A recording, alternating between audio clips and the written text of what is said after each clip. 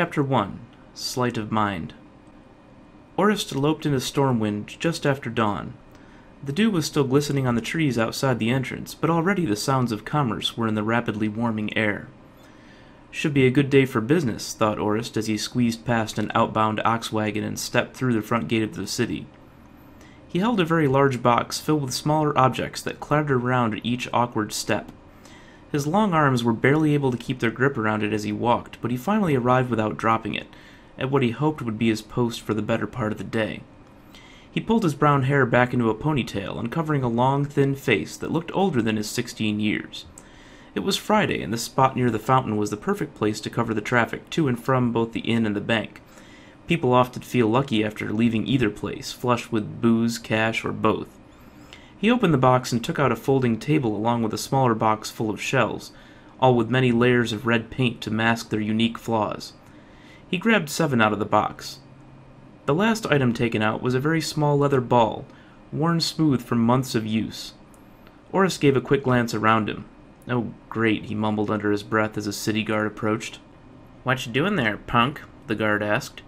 What do you mean? Orest asked, feigning surprise. Twenty percent or leave, the guard sneered, trying his best to seem menacing, though he was several inches shorter than Orest.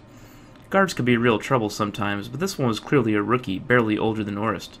He was bluffing. All of the most skilled and best trained soldiers had been sent to Outland to fight the Burning Legion, and the best of the rest were frequently busy repulsing incursions by orcs in the east as they apparently were today. This rookie was typical of the city guards recently. Ten percent, said Orest. It's Friday. The take will be good today, and if I go somewhere else, I'll make less, but you'll get nothing. The guard grunted. Well, fine, but I'll be watching you to make sure you're not shorting me. Stormwind's finest sauntered off with his chest puffed out, convinced he had made his point. Hack, thought Orest as he laid the shells in a line on the table and put the leather ball under the middle shell. Step right up and test your skill, ladies and gentlemen, barked Orest over the noise of the throngs of travelers hurrying through the streets. Special Friday payout today, four to one. It was nearly noon, and already business was excellent. His hands were quick today, and even those with the keenest eyes weren't winning. It was lunchtime, and the din of the crowd started to lull as people went home or to the restaurants to eat. Soon it would be time to grab a bite to eat himself and drink something to relieve his overworked voice. An old man with a shabby cane began doddering up the walkway to the bank, and Orest made his final pitch of the morning, more as a joke than anything else. What do you say, old timer? Feeling lucky today? The old man looked at him vacantly, and then lurched slowly toward him. Orest sighed audibly. Oh, no, he thought to himself. He's some crazy old man. I never should have tried to pitch him. Probably doesn't have any money anyway. Much to Orest's surprise, he plunked down twenty gold pieces on the table. Impressive, he thought. Lunch could wait. His hands spun furiously over the shells, moving them across the table effortlessly. He stopped moving them and looked at the old man, waiting for him to make a choice. He pointed to the shelf furthest to his right, which Orest lifted. Nothing there. Sorry, man, just not your day, Orest said with mock empathy as he took the old man's gold off the table. The old man muttered something under his breath and threw down twenty more gold pieces. What is he doing? thought Orest as he laid out the game again. I hope this guy is richer than he looks. So far he seems to be. Walking gold mine. Again the shells were dispersed at top speed, little red spots flying across the brown wooden table. The man picked the second shell from the left. There was the ball. Orest winced. Even a blind squirrel gets a nut every now and then, he thought, as he gave a portion of the day's total to the old man. Oddly, the man didn't seem to even register that he had won. There was no change in expression, and he continued to mutter to himself intermittently. Still expressionless, he put another twenty gold pieces back down on the table. That was luck.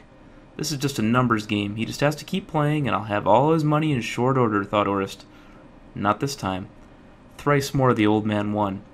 Orest's face was burning. This was impossible. That was his entire morning's work. The old man chuckled.